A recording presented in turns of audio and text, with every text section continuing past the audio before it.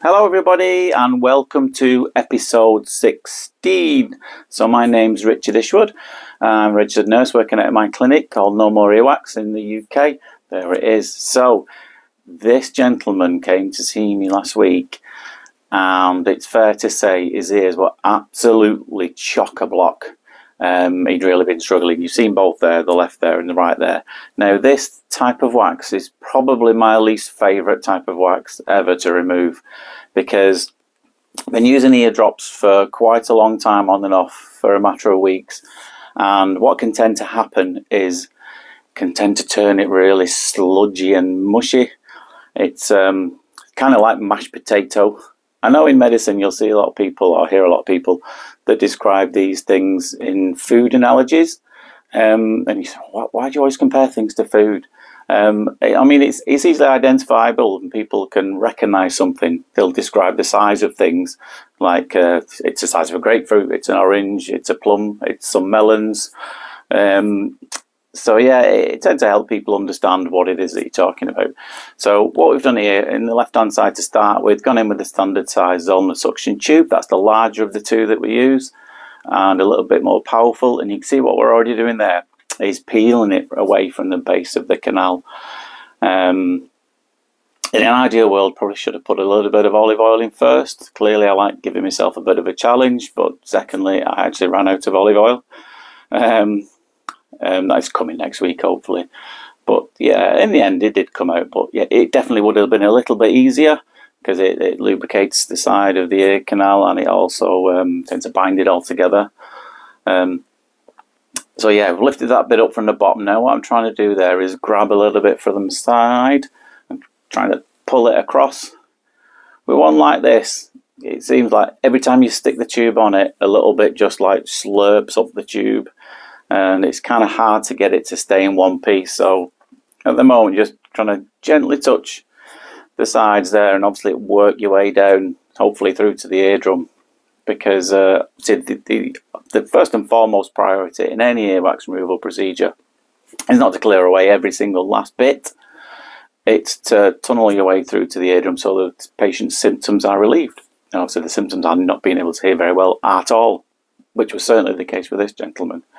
Um, so yeah, I've already wrapped it up from uh, from the bottom there, peeled away a little bit from there.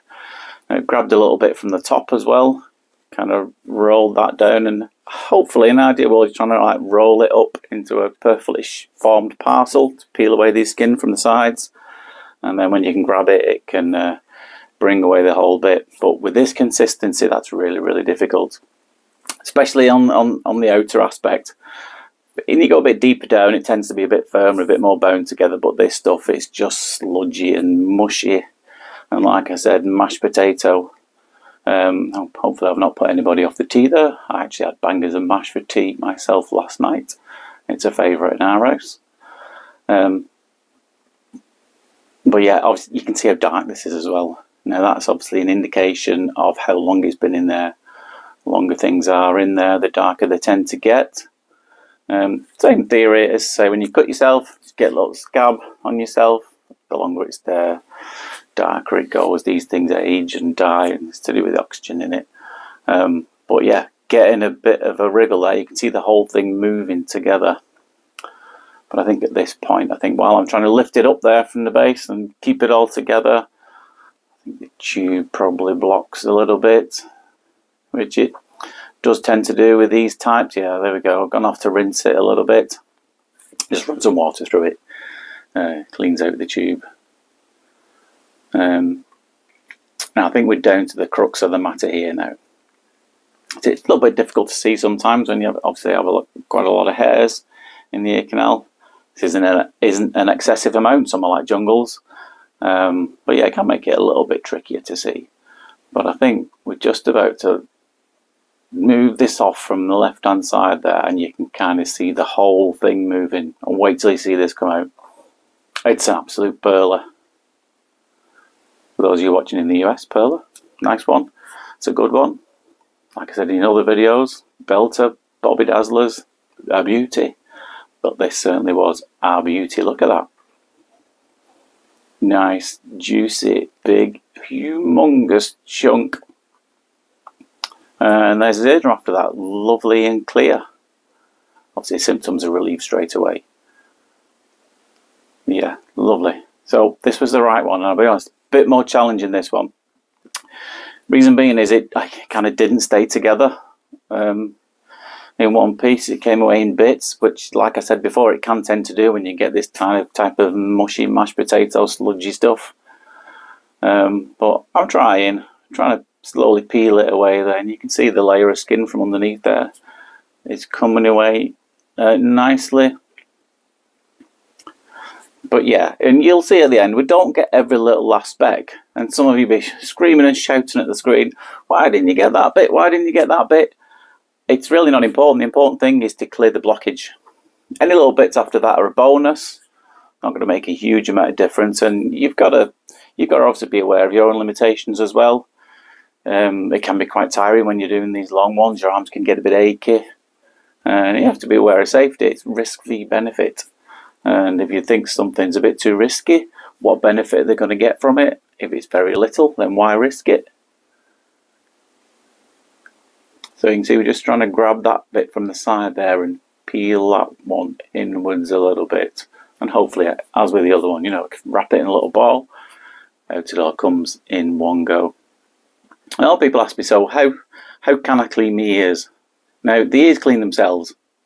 Um, evolution's taught us that the dead skin that sheds and this oily substance, it works its way out from in to out. It does it naturally. The ear will do it for you and collect all that dust, debris, and skin, what have you, and it will take it out. Sometimes that doesn't happen quite as well as it should do for various reasons.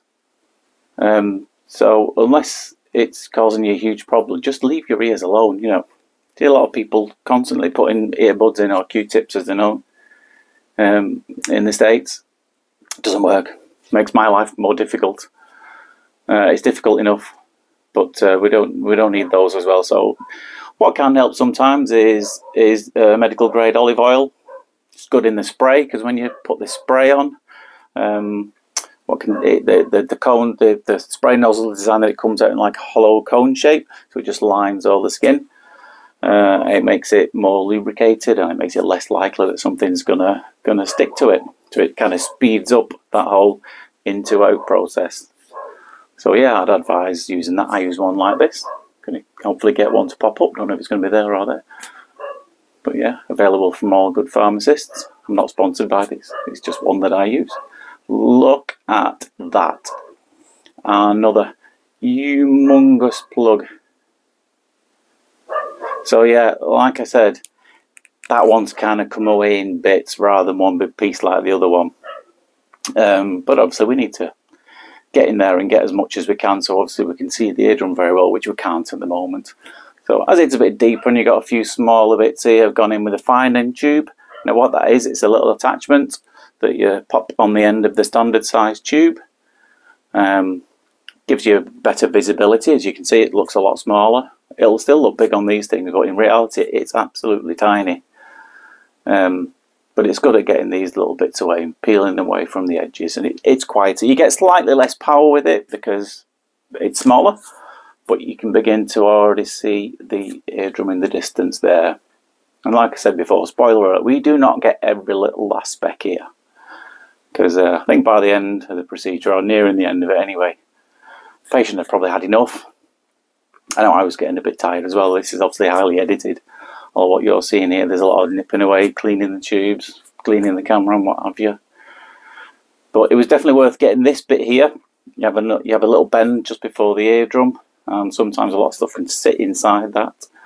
So that one that's, uh, and again, you can still see it's covering a little part of the eardrum there. So we need to get that out. So again, just gone deep down with the fine end there, grab that and bring it out. Like I said, still does look a little bit of a mess in there, but we've cleared the blockage. We've taken out the main, main offending item, which was the huge big plug of wax that was there.